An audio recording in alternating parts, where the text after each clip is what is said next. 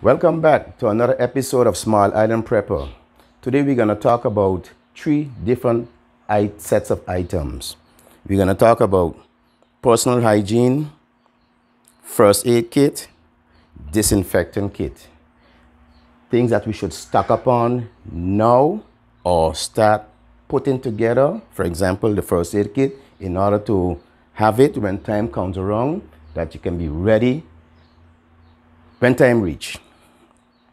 Personal hygiene. As most of you can remember in 2020, when the outbreak had started, toilet paper was an issue. Now we have toilet paper in stock. I suggest that you go and get your toilet paper. Stock up on the big 20 rolls, or if you get a bigger rolls, it all depends on your pocket.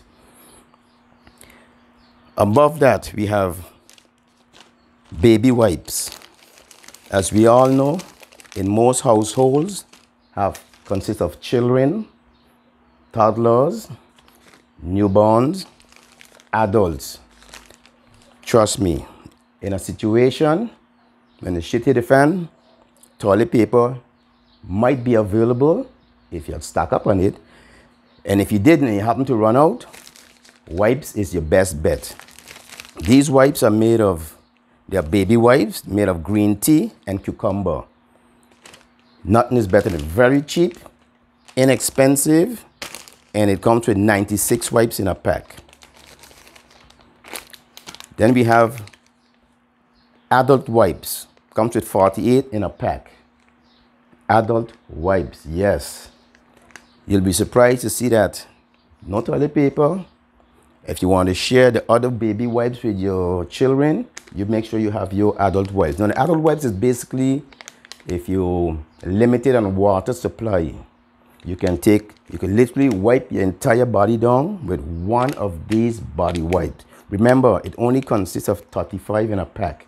So I suggest you stack up on quite a few of these adult wipes. Next to that, we have your little pocket size EDC wipes that you can put in your bag, EDC carry. Tea tree, very effective.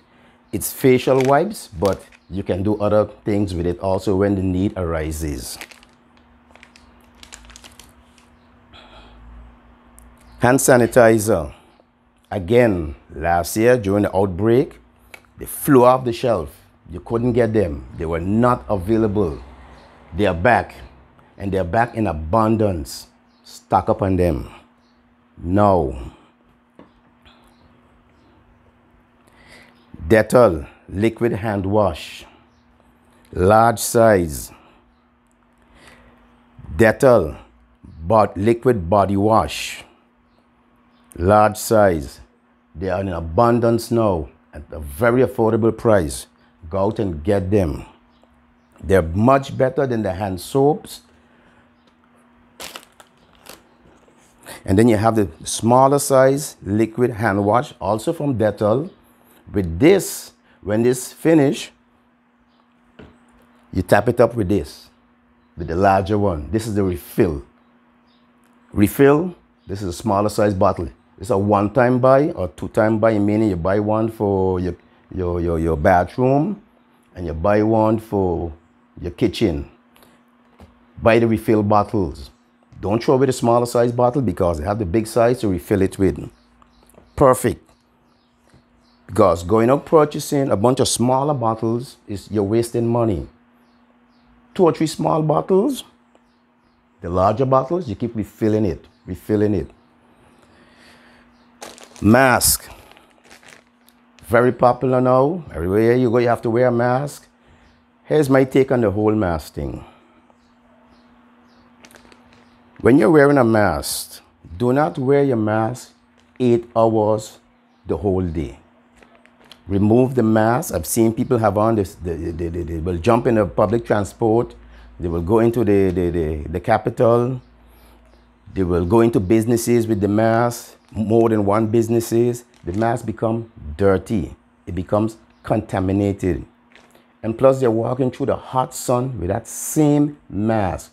What I do, I change up my mask at least three times per day. Because remember, they're disposable. And once you have disposable mask, you can change them out accordingly. Three times a day, sufficient enough. If you want to do it four times, depends on how long you're on the job. Um, I go to work at 7 in the morning. By 12 o'clock, I already gotten rid of the first one. Between 12 and 3, I've gotten rid of the second one. Even between sometimes 7 and 11.30, I already gotten rid of the, the, the, the first one because I'm coming, coming in contact with people. People are entering the office. I have to leave the office to do certain things. So once I get back to the office, I remove my mask. I don't use it in the office. But if someone comes into the office, I put on my mask. When they leave, I remove it. As I exit the office and I return back, I will dispose of that mask. Three times per day is sufficient. Small tissue paper. Now, you will hear the experts say, and I say the experts, they're all about talk market. When you have to sneeze or cough, cough it in your cough it in your elbow. Now, folks, I'm going to tell you plain. Your elbow is contaminated. Your shirt is contaminated. This is what you're going to do without you knowing it. It's just human nature with us to touch. And then you're going to end up touching your face contaminated. Probably you got a, um, a bug, a virus from someone who entered the office unknown to you. Now you started sneezing. You sneeze in your elbow, achoo, it's contaminated. Small wipes, tissue wipes. Very simple. You get one of these. This is the size. sneeze, cough, dispose of immediately. This thing with sneezing in your elbow, I don't fall for that. You're contaminating yourself and you're contaminating others because you're touching the computer keys. Someone is going to come in. If they did, if you didn't disinfect the computer keys and the phone and the whatever other electronics you have in the office, they're going to get contaminated now. So let's try to avoid that sneezing in the arm and using tissue disposable tissue paper we're gonna go to the first aid kit now i always say this you don't need to go there and buy an elaborate 50 60 150 piece 150 piece first aid kit you just need the basics. What I'm talking about with the basics. Hydroperoxide.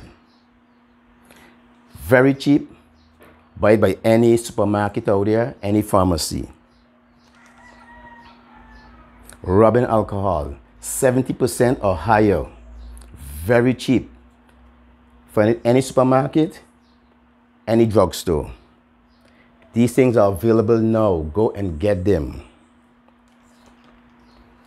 First aid bandages, a pack of 50 or more, non-stick. Assorted bandages. What more do you want than this? This is a family pack. Actually, this having 100 pieces. Are you going to use 100 pieces of band-aid? No but you have it very cheap. Neosporin. Come on, guys. Neosporin. We all know that. You get a little cut, you apply the Neosporin, you apply your band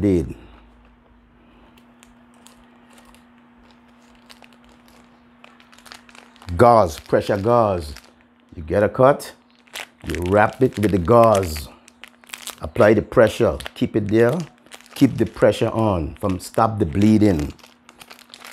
Two or three different sizes. Another set of pressure gauze. Very useful same same application as the first one.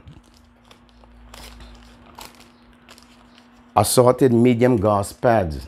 You get a cut you apply it and then you put the pressure gauze around it. Hold that in place. Again, these are simple, basic first aid items that you can have home. You do not need the big, again, 150 piece set. You're not going to use all of it. There are one or two other things that I didn't add here that I do have in my um, my EDC bag or the bag that I go to work every day. I have a smaller version of this. Make some bandages, gauze, pressure, pressure bandages. I have all of that in my other bag also, which includes tape to tape it together. I didn't put it here, but it's I do have it. Makeup pad wipes, makeup pad, clean your face. You can clean wounds, do a lot of things, a lot of applications you can do with this. You can put some rubbing alcohol on it, clean your skin, remove the dirt from your skin. Very helpful. Q-tips, Q-tips. Again, you get a little cut, you clean the wound with your Q-tip because it's small before you apply the neosporin and then you add the bandage. So that was my first aid kit on a small scale, inexpensive. Most of these items I had in my home already. So I didn't have to go and purchase nothing. They're there year round. All you have to do is take a look at look around your your um, the cabinet that you have in your, your, your, your, your bathroom and you'll see it. You'll find them. I touched the personal hygiene kit. Sanitizing. We talk about hand sanitizing, body wash sanitizing. Now we're going to go over to household cleaning sanitizing. Clorox spray. Very cheap. It's in abundance out there. Pick up three, four, five of them, put them aside. Every month you go, you buy an extra one, put it aside. This lasts about a month or more. Clorox bleach. It's in abundance out there. Just make sure you have, it doesn't matter what kind of Clorox you have. Bleach is bleach. Care what kind of name it carries. And then you have, of course, the larger ones. They all kill 99.9% of viruses.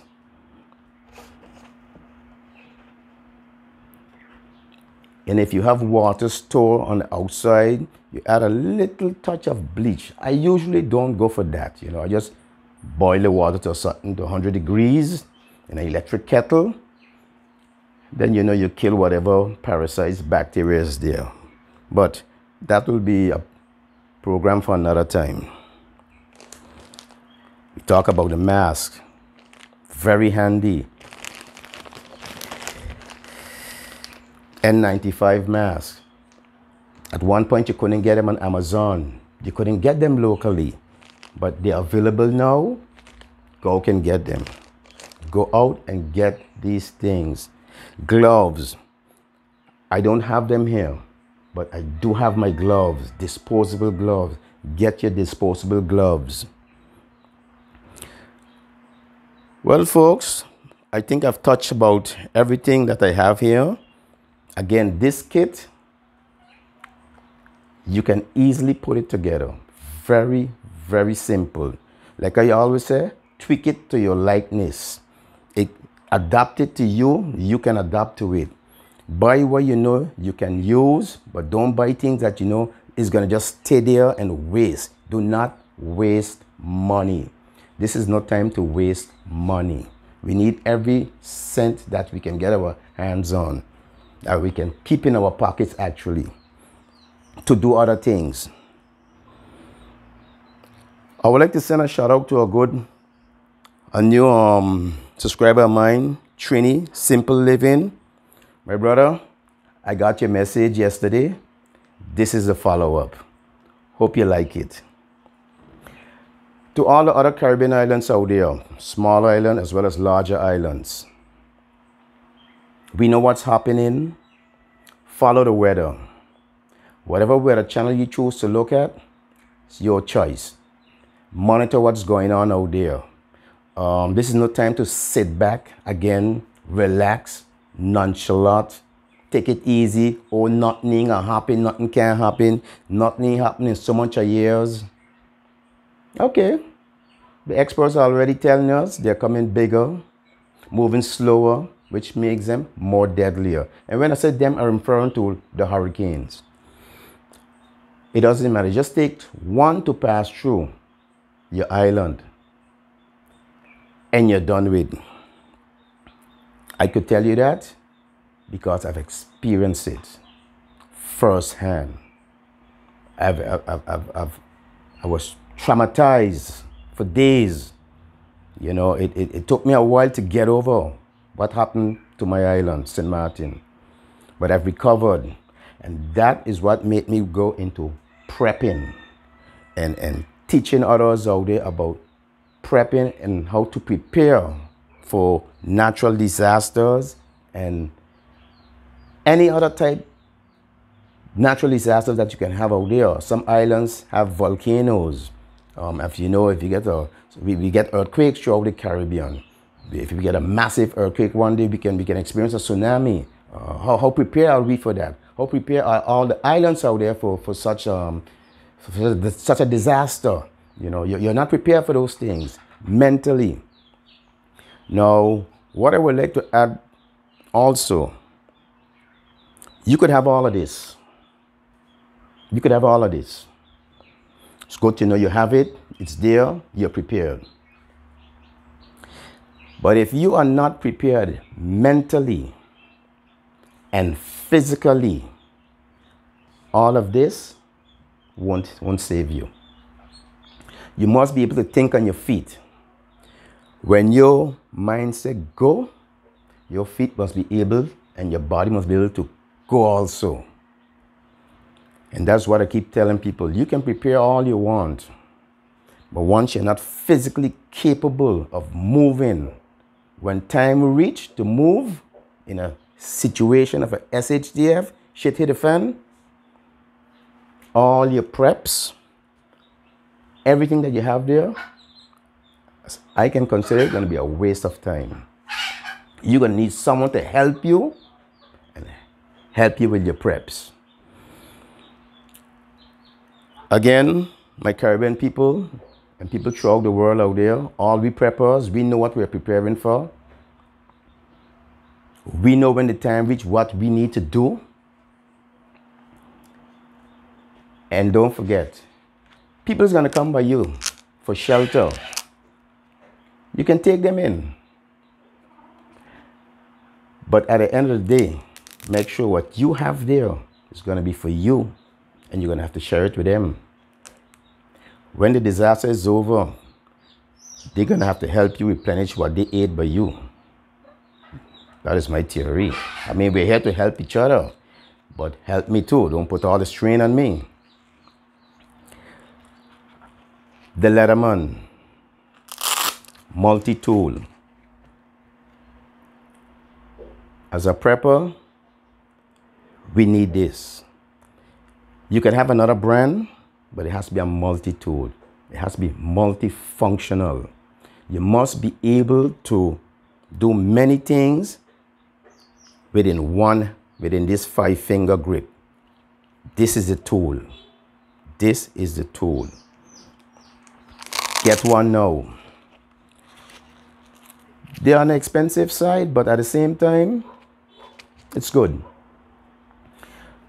With that, I would like to bring an end to another Small Island Prepper presentation.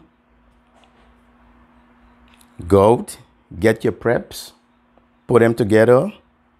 It's very inexpensive. I try to stay on a smaller budget. Everything I do is on a small budget. I am we are we are not rich people out there. I am not rich. So I have to economize, as we just say in the Caribbean and throughout the world. It's a beautiful little kit. Again, most of the items are already in your home. You just have to know to put them together, put them aside, and make sure that they're there. Stay tuned for the next program.